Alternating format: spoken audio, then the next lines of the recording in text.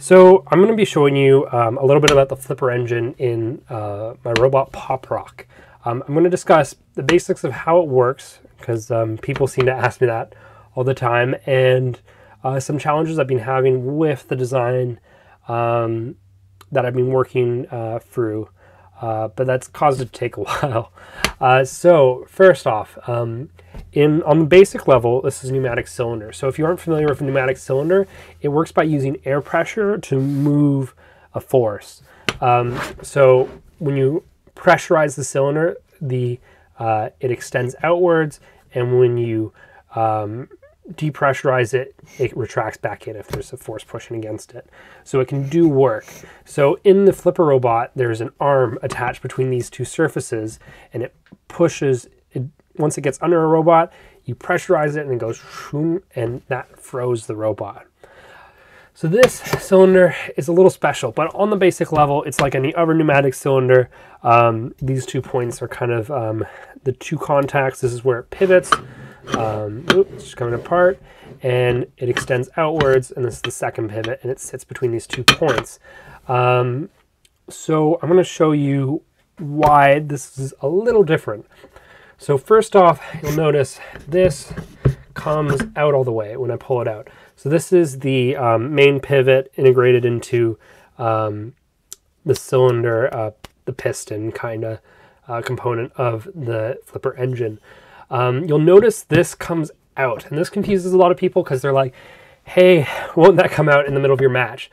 Well, most robots um, use conventional pneumatic cylinders that usually have some sort of stop to prevent, uh, they're off the shelf cylinders. So they have a stop to prevent the um, piston from coming out of the cylinder.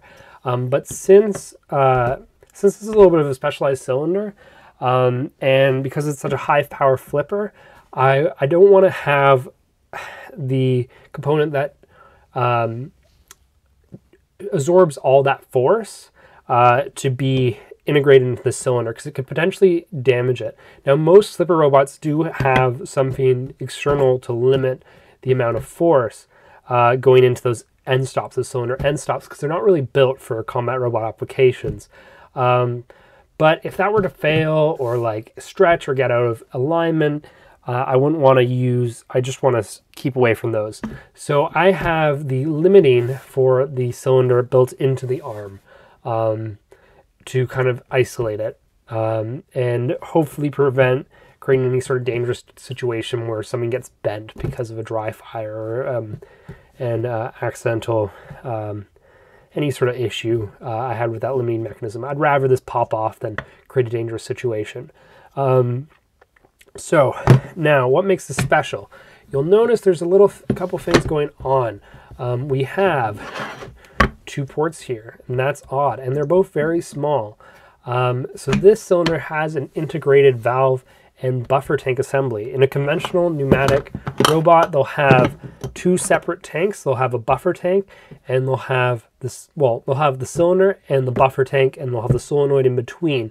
And so the air goes in the buffer tank, fills it up, and then once they are under a robot and ready to fire, they release, open the valve, and they allow the air to go into the cylinder. Um, now, this is, there's some issues with this. Um, it works, but the every time you kind of have add extra parts in between the cylinder and the buffer tank, you slow down the flow, and this affects your flipping power a lot. Um, now, the way people get around this is they turn the pressure up to like 1800 psi as far as they can go basically. Um, and the more pressure allows them to maximize the flow through their valve and their um, their piping, their connecting components, because they're kind of limited on the size of those components. And it also adds a lot of weight and space that they have to package this all these connections in. So this integrates both of them. Um, and what's cool is because it's integrated, we only need two small two hoses coming out um, for connections because they don't really affect the size of these don't affect um, the flipping speed really. Um, so I'll just open it up here. So we have our kind of, I'll call this the valve component. Um, and then we have the buffer tank, which is a little tight.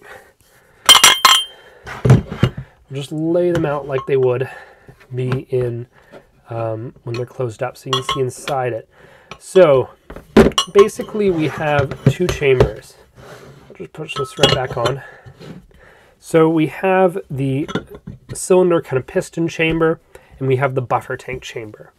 Um, so you can see right now they're they're open. Uh, air can travel in between it, and if I close this up, they'd be open.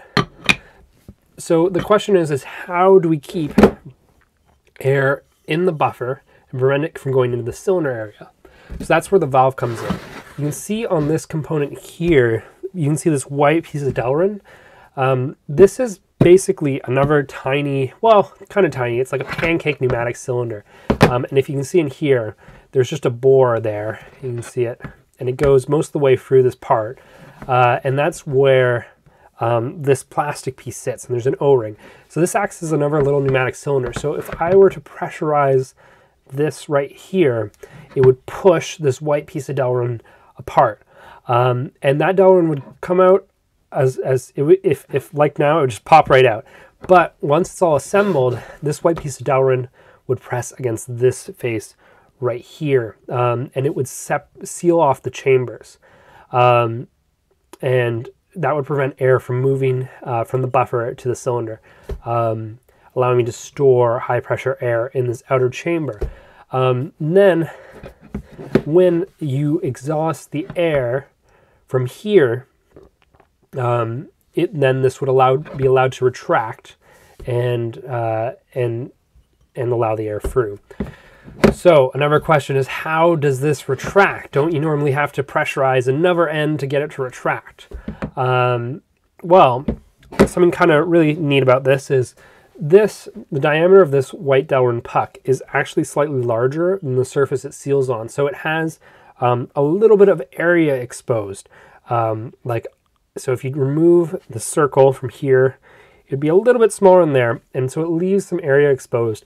And because this is pressurized, that pressure will want to push down on that area constantly. Uh, but that force will be overcome by the pressure in there. Um, now, once you release the pressure, um, this will leak and leak and leak, going from about 80 psi to maybe 10, 20 psi, um, depending on the working pressure here. Um, once that happens, the force being pushed on this little outer rim here will overcome um, the force of the air pushing it in the cylinder there, um, making it retract. Now, the moment it starts, air starts to leak from the outer chamber to the inner chamber, this whole entire surface becomes exposed. Now there's um, maybe 300 pounds per square inch pushing down on this entire surface instead of just the outer rim. So it it really pushes it down and um, causes the air to pressurize quite quick. So we have a, a quick exhaust valve the other end to let that air out. Um, so that opens the valve extremely, extremely fast. I, would love to measure it one day, but I'm not exactly sure how. Um, so this allows for huge, huge flow. Um, normally, like people are limited by like they use half inch, five eighths fittings to connect their buffer tank and their cylinder together. This is effectively a one and a half inch um, bore, full bore of air that's allowed to go through. And because it's so close to each other, it's like nearly a direct connection. So the air can flow at really high speeds right down um, in there um, and pressurize the cylinder. So that allows us for way higher flips um, and way more power, power than was previously available. And also when you're limiting the flow, you're kind of wasting a lot of that energy um, that you're the valuable energy that you're storing. So I can run this at a lower pressure and still get better flips than an 1800 psi flipper at like 400, 500 psi, um, basically.